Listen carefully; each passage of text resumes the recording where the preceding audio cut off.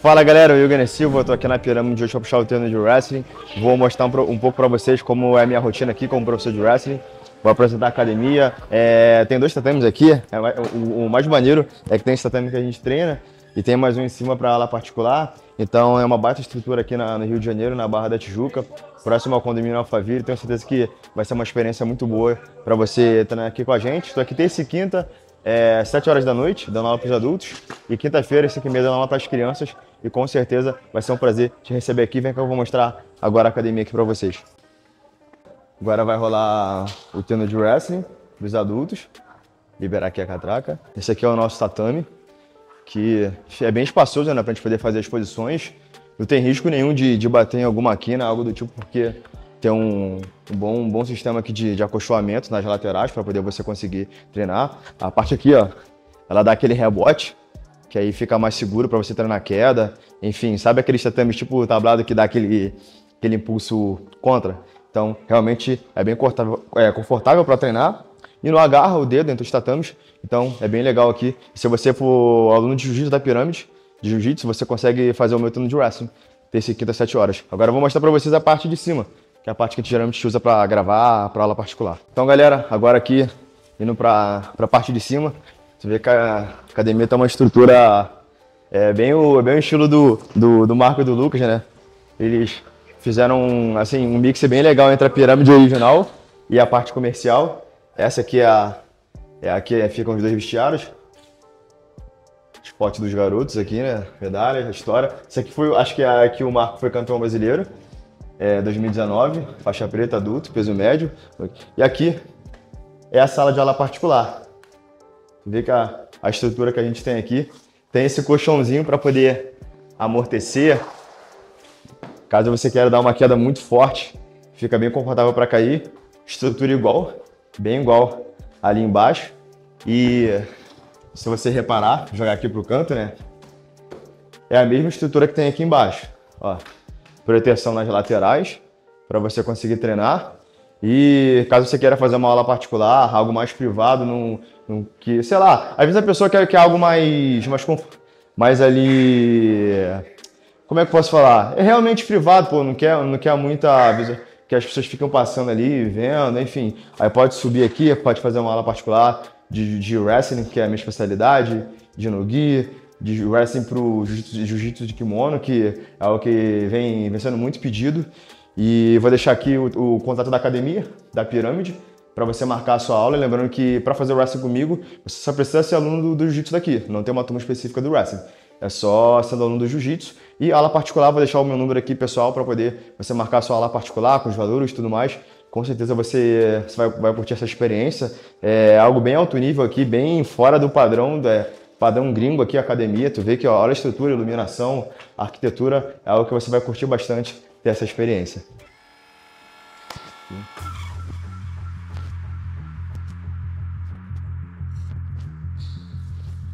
Outro lado. Braço para frente.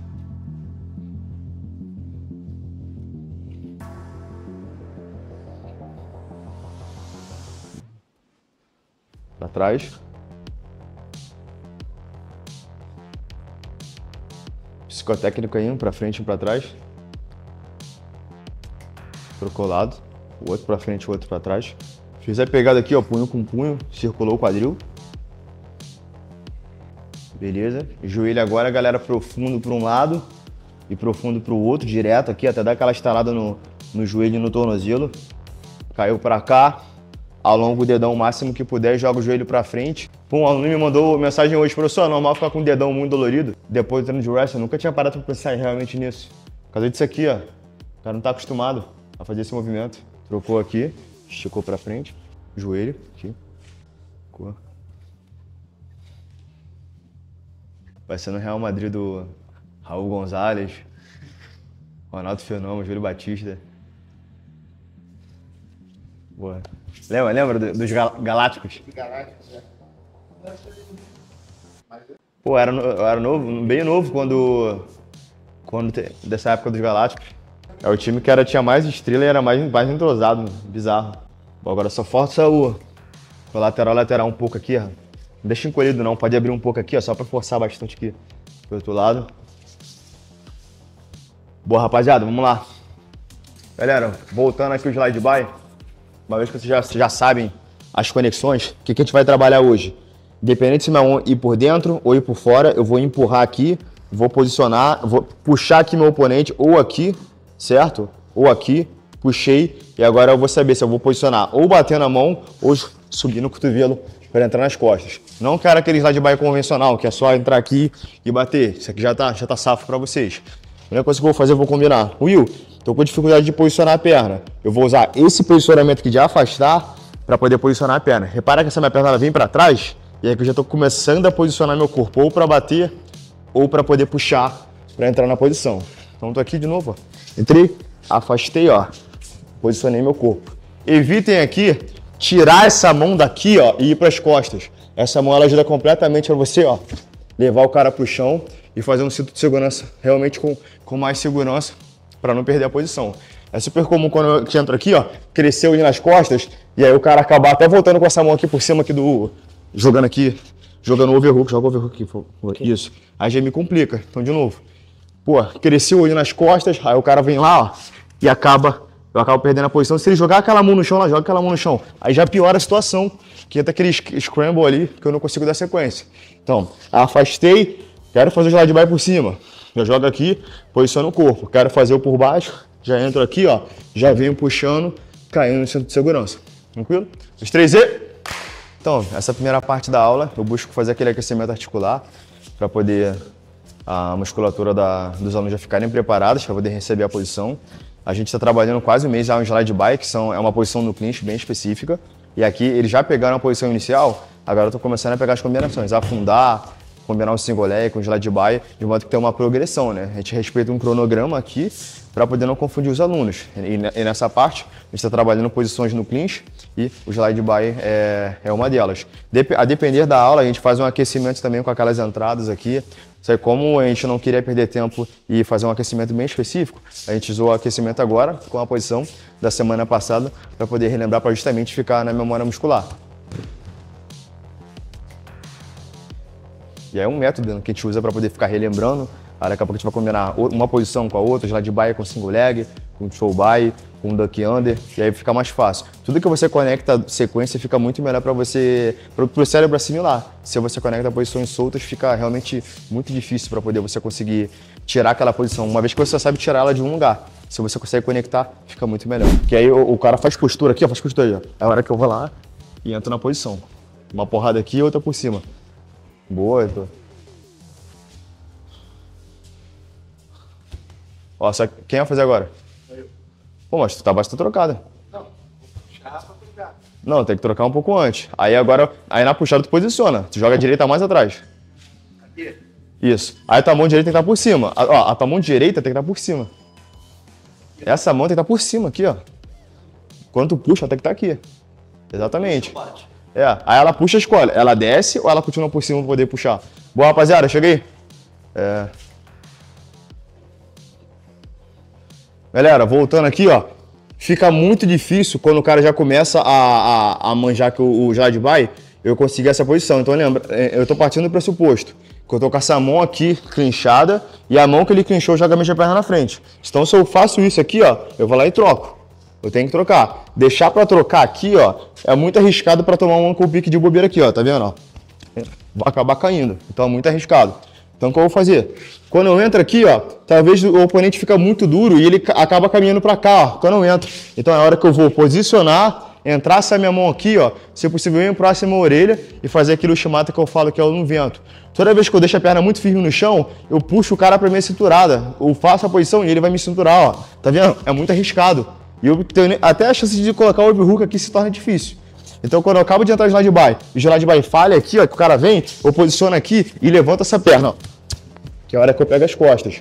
Se, se tentar fazer com a perna no chão, pode ser que funcione, mas o risco de acontecer, a cinturada é muito grande, tá vendo? É, é muito arriscado. Então, eu prefiro que tente aqui, ó, o cara veio pro lado, ó, entro e faço a posição com aquela leve levantada, certo? Quem já, já, já conhece a posição um tempo, lembra? A posição original, quando eu comecei a, a, Não vou falar que eu criei o Chobai, né? Porque também é fora falar porque é uma posição já antiga. Só que eu fiz essa é, fazendo o shimato de um russo chamado Goguerev, que quando o cara clinchava com ele, ele fazia isso aqui, ó. Isso aqui, ó. E entrava o shimato aqui e pegava as costas. E aí eu tentando repetir o que ele fazia, eu. Porra, meu irmão, como é que faz isso? Aí saiu isso aqui. e aí foi quando eu comecei a adaptar. Pô, isso aqui é mais fácil. Funciona igual. Que o cara tinha, irmão, dois metros de perna. Então toda vez que ele fazia isso aqui, ó, ele batia aqui, ó, a mão do cara ia no chão, depois ia lá, botava e caía nessa situação. Então ela é bem mais simples. Um erro que todo mundo comete, provavelmente vocês vão cometer, não é nenhum, nenhum, como é que eu falo, nenhuma novidade. Quando eu bato aqui, ó, entrei, cadê o Diego? Ó, que eu falei pra você, ó, posiciono antes. Bato aqui, eu tento cair com essa perna na frente. Tenta se educar para já cair com essa. Que a única diferença do slow de by pro show by é que eu vou estar aqui agora. Então, de novo, ó. Troquei, bati aqui, ó. Acompanha para cair com essa. Porque se tu cair com essa aqui, ó, não vai sair nada. É muito difícil. Então, de novo, ó. Sou, sou destro. Bato, ó. Entrei, ó. Já trago para cá para poder fazer a posição e fazer o show by. Tranquilo? 2, 3 e. Infalível. Pode, pode confiar que funciona. A não ser que o amigo seja da pirâmide. Aí o cara vai largar e vai cinturar. Aí, Felipe, acabei de falar, viu? Porra, acabei de falar. É, normal. Costas? Eu não vi, eu não vi. Ah, qual a diferença, ó? Chobai, uma, o slide uma mão tá aqui, Chobai a outra tá aqui. É só isso. Entendi? Mas, mas eu bati aqui, caiu aqui. Quando eu bato, ele tá indo muito pra lá. Você tá afundando a cabeça dele pro chão. Olha, olha o que, você tá fazendo. Galera, ó, olha o erro aqui. Uma, uma, tirou uma dúvida bem, bem interessante. Troca a base aí. Isso. Vamos lá. Quando eu entro aqui no calma, eu afundo a cabeça dele pro chão, ó. Assim, ele vai cair longe, certo? Quando eu concentro mais no movimento do meu corpo, sem afundar ele muito, com a, só minha cabeça descendo, ó, ele cai mais perto. O que, que você, tá, a maioria tá tentando fazer? Isso aqui, ó. Aí o cara vai lá e cai longe. Aí vira de frente pra mim, vai. Não, tipo, vira de frente pra mim jogando e girando a perna pra lá, vai. Como assim? Tipo, jogando. Isso. O cara vai cair longe. De novo, vou fazer na, no estilo é, grosseria. Pode ficar de frente pra mim. De frente, de frente. É normal, luta, luta normal. Entrei aqui, ó. Já puxou, ó, tá longe. Agora quando eu mantenho aqui, ó, puxado, só o tronco, ó. Cai mais perto. Pequena grande diferença. Quanto mais afunda a cabeça do cara, pior fica. Só vou gastar mais força. E às vezes vai dar aquela a dor no braço quando o cara, quando o cara tá muito durão que dá uma dor no braço. Quando eu faço mais isso aqui, ó, sai e o cara cai. Tá falando com o Fabinho. Tá entrando muito aqui, ó. Fecha, fecha aqui, vai. Ó, como é que fica difícil conseguir algo aqui? Por isso que minha mão tem que vir aqui na cintura, pra poder travar melhor. Beleza? Os três e... Então, galera, essa é a parte do sparring. A gente sempre tenta deixar a pessoa bem acostumada com o estímulo do wrestling. Esse, esse tipo de estímulo que a gente faz é de um minuto e meio por 30 de descanso. Então, a pessoa tem um minuto e meio para poder realmente jogar o VO2 dela lá em cima, para poder deixar a respiração bem ofegante. Para 30 segundos baixar, depois ela elevar é, o VO2 lá em cima de novo, porque é algo muito comum no wrestling. Essa, essa variação de estímulo, deixar o, a, o cara hiperventilar, o cara entrar nos scrambles ali, na sequência de posições, e se acostumar com esse estímulo. No jiu-jitsu tende a ser mais parado, né, com alguns breves, breves sprints. Então a gente vai, vai acostumar. Esse tipo de treino, o cara só pode fazer duas seguidas. Então o cara fez duas seguidas ali muito forte, um minuto e meio, 30, um minuto e meio, 30, pode descansar, aí depois retorna e faz a posição novamente. Beleza, galera? Troca a dupla aí para poder fazer agora. Já troca aí direto a dupla. E é um, é um estímulo que é, que é bem legal do wrestling. Lembrando que se eu colocar um treino mais longo, a tendência é o cara acabar enrolando, dar, é, dar aquele migué. Então treino mais curto é para justamente o cara sair na mão, o cara dar o gás ali, sei lá, fui quedado, trocou a dupla, é, o cara tende a dar o gás de novo, se ele retornar com aquela mesma dupla, o cara vai, vai dar o gás de novo, né, para poder recuperar, recuperar a posição. A tendência é que quando você para ali, pode, pode descansar aí, descansa aí, pode respirar, pode respirar. É, a tendência é quando você acaba, sei lá, perdendo o treino ali, toma uma queda nos primeiros minutos e o treino está muito, muito longo, é você dar, dar aquela aceitada para recuperar.